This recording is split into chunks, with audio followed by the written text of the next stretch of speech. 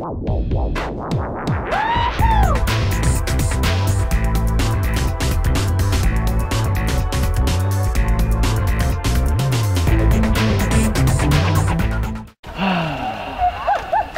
das schön.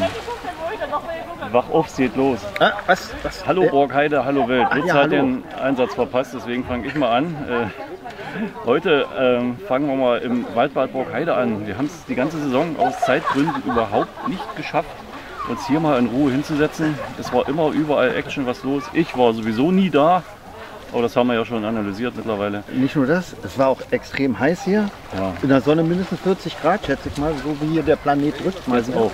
Jetzt auch, obwohl es heute Nacht schön sich abgekühlt Eigentlich hätte ich jetzt noch in die, in die Maske gemusst, weil sonst hier oben ist schon wieder alles. Wo ist äh, dein na Hut? egal. Mein Hut ist zu Hause, der äh, ist sonnengeschützt gelagert.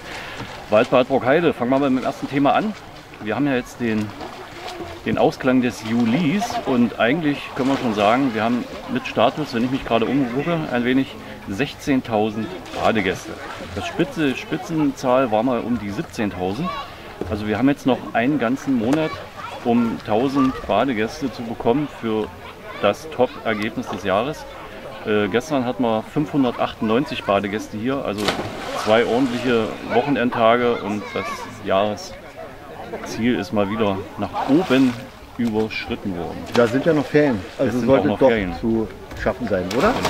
Also mal sehen, wie der September wird. Vielleicht beruhigt sich ja das Wetter auch in den nächsten Tagen ein wenig und es wird statt 33 Grad nur noch 28. Dann gehen ja auch hier die Besucherzahlen total in den Keller. Glaube ich nicht. Ein Scherz. Glaube ich nicht. Ja, was hat man sonst die Woche? War ja, los, ne? ansonsten, wir hatten ja unsere Sondersendung am Freitag gebracht über den Waldbrand in Fichtenwalde. Äh, ist ja nicht so, dass jetzt Ruhe ist für die Feuerwehr hier in Borgheide bzw. in den umliegenden Gemeinden. Auch unsere Feuerwehr war gestern wieder unterwegs gewesen, nochmal in Fichtenwalde gewesen bis äh, frühen Nachmittag.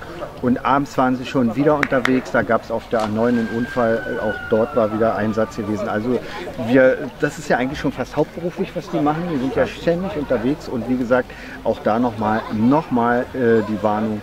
Kein offenes Feuer, kein Grillen, nicht rauchen im Wald, etc. Und äh, es ist einfach noch zu trocken, selbst wenn es gestern ein bisschen Ich geregnet hat. vermute ja auch mal, dass die Leute, die hier wohnen, äh, sich der Gefahr auch äh, komplett gewiss sind und auch am meisten auf alles aufpassen. Es sind vermutlich doch auch viele an der Autobahn, die langfahren und da doch mal eine Kippe rausschnipsen, wie gesagt. Das, äh, wird die, das Video wird die Leute nicht erreichen, die es betrifft, aber vielleicht spricht sie es rum. Ja, also wie gesagt, wir hoffen mal, dass es jetzt äh, langsam zu Ende geht mit den wirklich extrem heißen Tagen und die Waldbrandgefahr doch ein bisschen reduziert wird. Heute Nacht hat es ja geregnet. Also heute Ja. Nacht ist ja, also heute, wir drehen ja schon ein bisschen vor. Von Samstag auf Sonntag hat es ja ordentlich von um zwei bis um vier, glaube ich, dann nochmal so richtig schön geregnet. Also eigentlich quasi Wunschbedingungen, ja. Tagsüber Sonne, nachts ordentlich Wasser. Könnten wir jeden Tag so haben, ne? Im Prinzip schon, ja. Dann hat man noch gehabt, ja, ich ziehe es einfach mal vor, am Freitagabend war nicht nur Waldbrand, sondern auch Blutmond. Und da waren natürlich auch ein paar Leute mit hier auf dem Marktplatz gewesen. Ich war auch da mit der Kamera und wie man auch hier sehen kann, habe ich auch mal äh, so versucht, den Mond in meine Kamera zu drücken. Man bräuchte ja theoretisch ein richtig ordentliches Tele, so mindestens so äh, 400 bis 600 und noch größer. Aber wer hat sowas schon nur für einmal Blutmond? Wann kommt das nächste Mal der Blutmond? Ja, den schauen wir uns in etwas über 100.000 Jahren nochmal an. Ja, bis dahin habe ich ein großes Objektiv. Ich bin dabei. Ich habe dann zwei. So. Nächste, nächste Runde, es steht Ja. alles schon auf dem Plan. Die nächste Runde Veranstaltung in Brockheide steht an. Es wird heiß, es ja. bleibt heiß. Ja. Vierte, achte, Baum und Borke. Da sind natürlich noch die letzten Vorbereitungen äh, im Laufen. Wir drehen auch mit den Jungs nochmal ein separates Video. Am 4.8., so alles klappt und auch mit der Feuerwehr alles geregelt ist, findet das Event statt. Und wird dann auch direkt verfolgt von dem nächsten Event im Waldbad Borgheide am 11.8. Die Haus- und Hofband Kurzschluss ist mal wieder hier, wird auch in den Pausen von einem DJ unterstützt, dass die Tanzwütigen hier voll auf ihre Kosten kommen. Das sind so die nächsten Events, die hier anstehen. Ja, drücken wir mal die Daumen, dass es nicht äh, äh, wegen Nichtwasser ins Feuer fällt. Ja, schauen wir diese mal. Veranstaltung. Ja, es ist ja schon nächstes Wochenende und äh, vielleicht regnet es ja noch mal bis dahin und die Situation entspannt sich ein für bisschen. die, für die Kurzschlussveranstaltung, es wird bei uns gegrillt, aber wir haben, das weiß der Lutz noch gar nicht, wir haben nämlich zwei Gasgrills, mit denen wir hier arbeiten können, nämlich meinen und deinen. Ich wollte dich übrigens noch fragen, ob wir uns deinen Grill ausleihen können für Ja. das Event. Ja. Du wirst jetzt natürlich vor der Kamera auch Ja sagen. Ja, ja ich brauche das nächste Wochenende privat. Nein, alles ja, klar. dann kauft ja. ihr einen. Ja, natürlich. Gern. Ich habe sogar so eine große Gasflasche. Ich habe auch Ja. Dann können wir, Die zusammenstellen. ja, haben wir zwei Gasflaschen. Haben zwei. Mann, freue ich mich schon drauf. Kurzschluss sowieso. Und natürlich ganz neugierig auf Born, äh, Baum und Borger, aber da kommen wir noch mal zu. So, Das war's?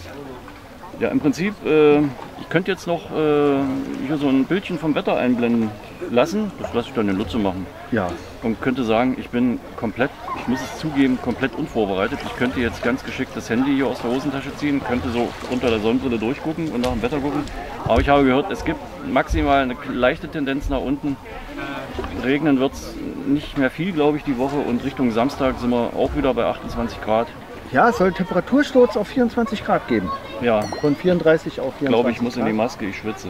Äh, macht aber Können wir nichts. jetzt aufhören? Unabhängig davon, nee.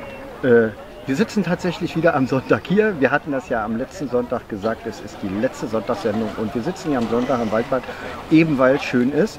Wir werden uns nachher noch ein kleines Bierchen zum Sonntag gönnen und den Film bringen wir Alkoholfrei. zukünftig übrigens, äh, was? Wie? In der Sonne also alkoholfrei. Auf dem Ohr äh, höre ich immer nicht. Auf dem Ohr. Äh, äh, und äh, wie gesagt, wir bringen jetzt unsere Sendung immer am Montag, damit wir auch den Sonntag in vollen Zügen genießen können. Wieso Aber fährst du mit der Bahn am Sonntag?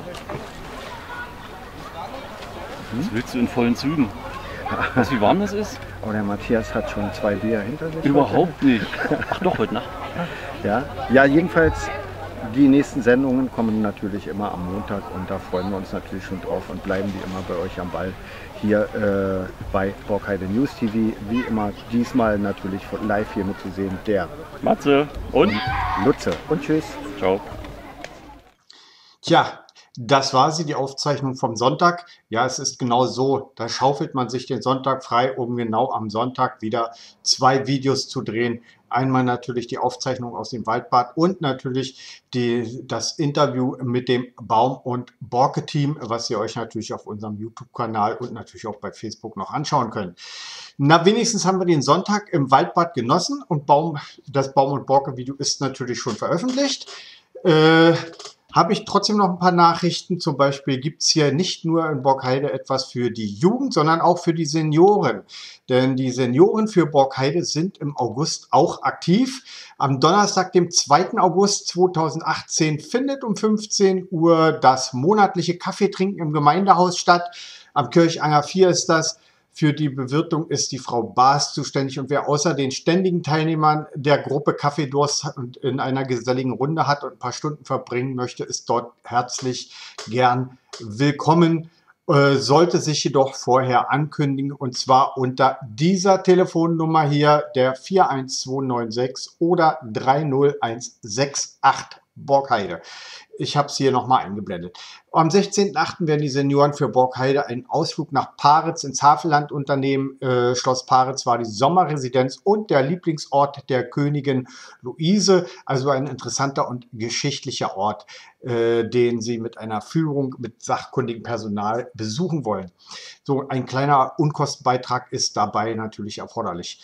Äh, die Senioren treffen sich auf dem Marktplatz und werden Fahrgemeinschaften bilden. Interessierte Bewohner des Ortes möchten sich dann bitte, wie gesagt, unter diesen Telefonnummern bis äh, 15, äh, nee, ab 15 Uhr am 2.8. ab 15 Uhr im Gemeindehaus melden. So, das dazu. Dann äh, möchte ich noch mal mitteilen beziehungsweise möchte äh, euch ankündigen, dass wir natürlich gern auch eure gelungenen Bilder, äh, die ihr irgendwo auch immer geschossen habt, gern als Startbild für unsere Videos verwenden, wenn ihr das natürlich möchtet. Und wir stellen natürlich euer Startbild auch gern im Video direkt vor äh, von dem Verfasser. Man sollte allerdings bei den äh, Fotos die Urheberschaft und den Datenschutz äh, gewährleisten. Das können wir natürlich hier alleine nicht stemmen. Und das soll es tatsächlich gewesen sein. Das war unser erstes Montagsvideo.